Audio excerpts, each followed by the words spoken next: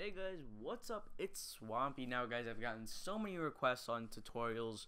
Um, you know, how do I make my banners? How do I make my AVIs? Um, how do I put together GFX packs? Yeah, I've really gotten that. Um, but I finally found some time to answer one of your questions, and I don't have too much time, so I'm going to try to make this quick.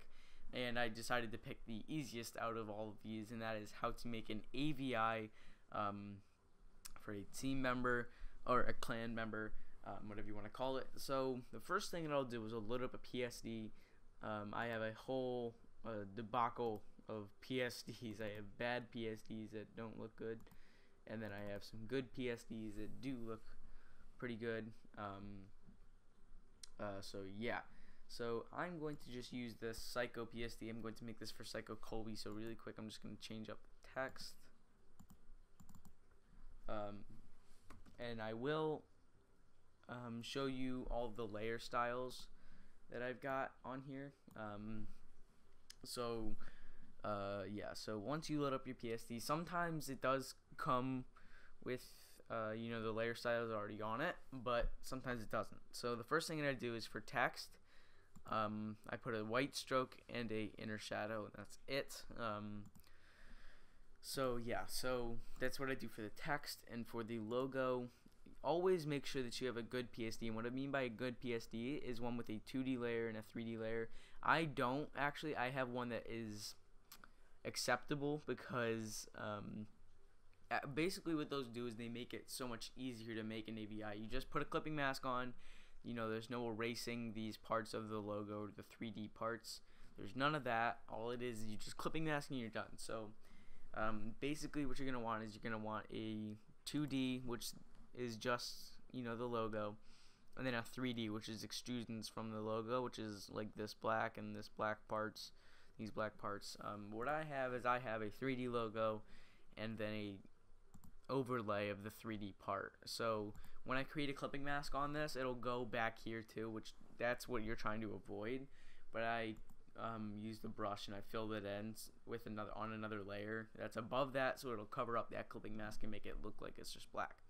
So that was pretty confusing I know um, but yeah so all I did to this was I just put a color overlay on it um, I didn't really need it I just put it on there. Um, for the 2D logo I put a inner shadow and then the other thing that you're always going to want is you're always going to want an outline um, for the logo. Without it, as you can see, that's what it looks like. Um, you're always going to want an outline. If you don't have an outline, get a stroke, put a white stroke on there. And then the other thing I like to put on is a, uh, a glare, which as you can see, just took it away. Um, it's very simple to make. Ooh, woo, woo, woo. Um, it's really just a white object with the opacity at about 15, um, 10 to 15 percent. Um, so it's very, very simple. It's a very simple thing to make, um, and they always improve the way your AVIs will look. So the first thing that you're gonna do, guys, is like I said, I'm gonna make this for Psycho Colby. The first thing that you're gonna want to do when you're making an AVI is you're gonna want to get some images for the AVI. So I'm gonna do like a Lamborghini um, styled one. So I'm gonna take this and just drag it right into Photoshop. This is gonna be my background. Um, always make sure you have an HD background um, otherwise they really won't come out so good. Um, this one is HD but it was just really really small. Um, and now I like the sunset so I think I'm gonna keep that. I'm gonna try to get to a spot where you can sort of see it right about there where you can still tell that that's a Lamborghini. Um, alright perfect. So now that I've got that what I'm going to do is I'm just going to drag this into hold alt and drag it into background drag one into text and then drag one into logo and delete that. Um, so now as you can see we have this and I'm going to take I'm going to go into the text folder. I'm going to take this and go right over the text and right click and click create clipping mask. And now as you can see it's um, on the text. Um, there's a nice outline around it so I'm going to do the same for logo. I'm going to go and create a clipping mask on the 2D logo. And now guys, for the background, the way it's auto automatically dark is I have a black layer in here. um, just a filled black layer um, at 50% over the uh, over the background. So it'll you know make it a little bit darker automatically right off the bat um, and lighter in the logo and the text. So that's all I do for that, and that's very like you could stop here. Um, this is kind of acceptable um, if you're not. I don't want to say a new designer, but if you're um, still learning. I shouldn't say that either because I'm still learning. I'm learning a lot of stuff every day. But um, if you're not super experienced, um, you could stop here if you don't really know how to use magic bullet looks or um, anything like that. Um, so yeah, so I'm gonna take this Lamborghini logo um, that I took and I'm gonna put this right over the logo itself. Um, so I'm just going to resize that, make it good size. Oh, you can flip it.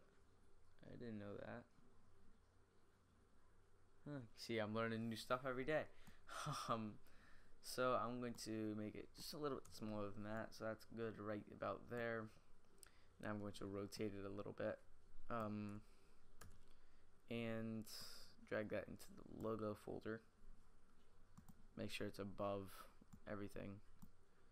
Um, no, actually, I am going to keep that above the outline, I guess. So I am just going to take hold Alt and drag it into um, into there. I'm going to make a clipping mask um, onto the 2D logo. Then I'm going to hit Control T. I'm going to make this one a little bit bigger. Um, and just lower the opacity of it. Um, so about 40 to 45 should do good. Alright, so I'm going to do 45. So now you're practically done. Um, like I said, you could stop here even. Um, that you could stop here rather than the other point um, that I told you you could stop at. This is probably going to look a little bit better than the other thing. Um, but if you're comfortable with Magic Bullet looks, you can continue to follow along. Um, follow along. I don't know why I said follow along. So I'm just going to select all of these and hit Control E to merge them. Um, and go filter, Magic Bullet looks, making sure that I'm selected on that. Um, so just open up Magic Bullet looks. Now guys, for me this might crash because sometimes Magic Bullet looks um, doesn't really like me. Um, I guess this time it did.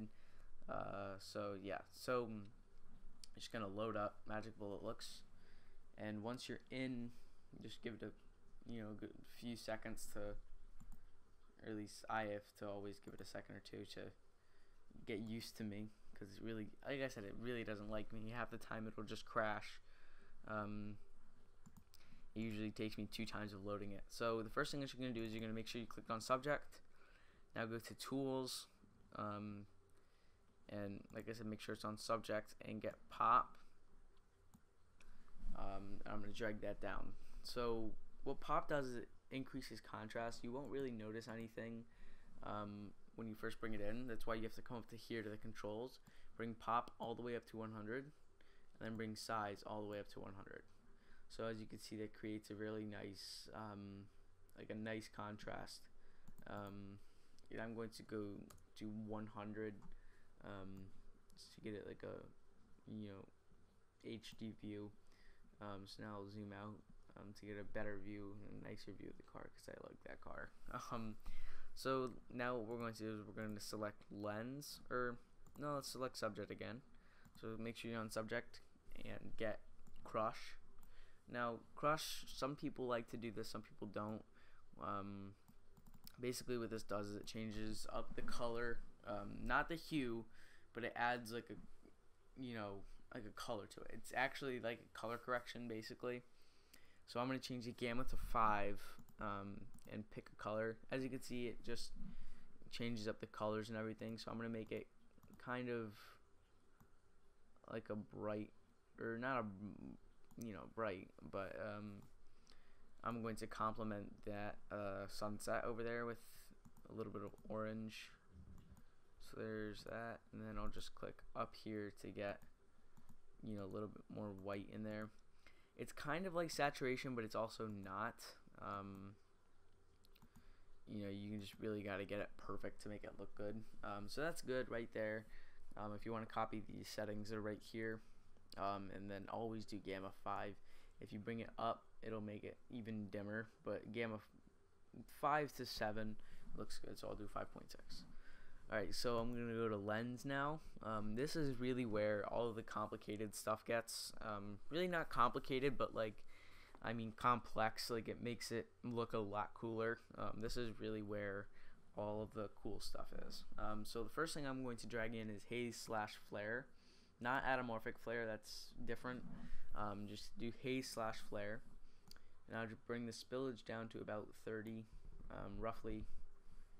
Uh, and I'm going to make it like you know nice orange um, orange just to complement the uh, sunset because like I said I really like that.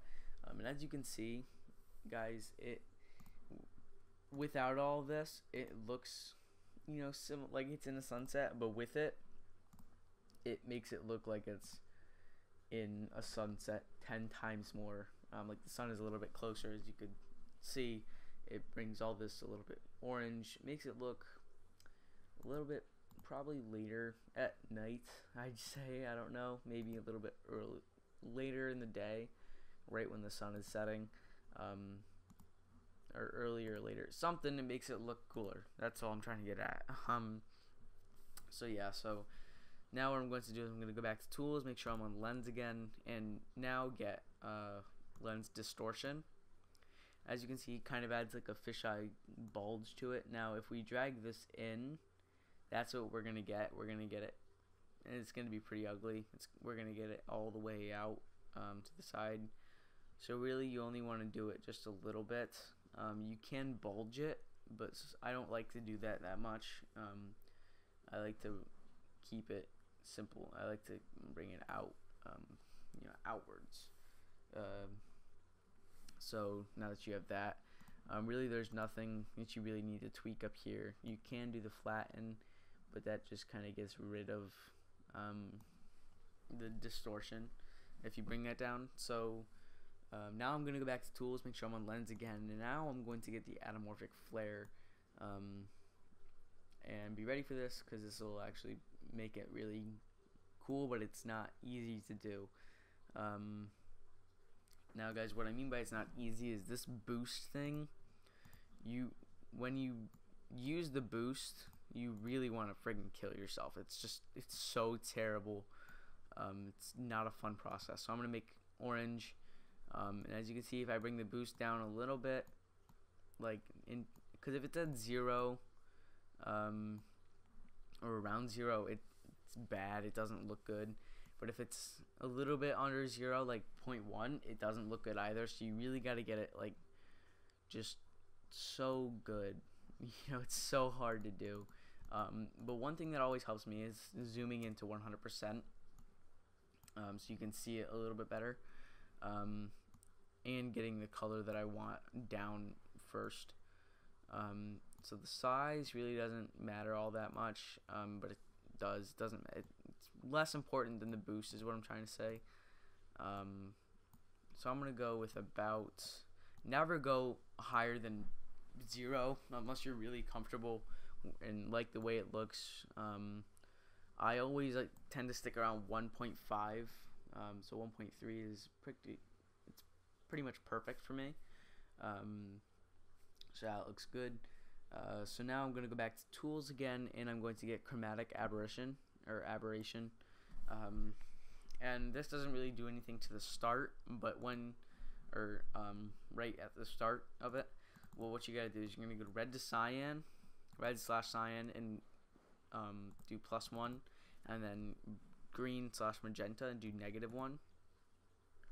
Um, and as you can see, if I zoomed in to 100% again, um, you get like a nice kind of 3D-ish effect um, on like text and all that. Um, like looking at something that's 3D without 3D glasses. Um, you know, uh, looks pretty dang cool on a AVI. Um, just don't look at like the text where it's too intense, too long, because it does t- start to hurt your eyes. um, I learned that from experience. Um, so yeah, so we're gonna go back to tools again, and now I'm gonna get edge softness and lens. Um, bring this circle out a little bit. Basically, what this does is it just blurs the edge. Um, so now we're almost done. One more thing to add, and we're gonna go to post and get curves. So now bring this curve up, bring this one down, bring this one up, bring this one down, bring this one up. Um, now don't do them too crazy. Do them like right, almost right on the lines. Otherwise, it's gonna look pretty bad. Um, so yeah, so that's basically how to do the magic bullet looks. Now you're just gonna hit finished, um, and as you're gonna see it here, it's gonna be before, and then once it loads, it's gonna be after, um, and you're gonna be able to see the differences. So as you can see, it did, you know, it's pretty cool. Um, so yeah, so that's how I make an AVI, guys. Now all I gotta do is save it.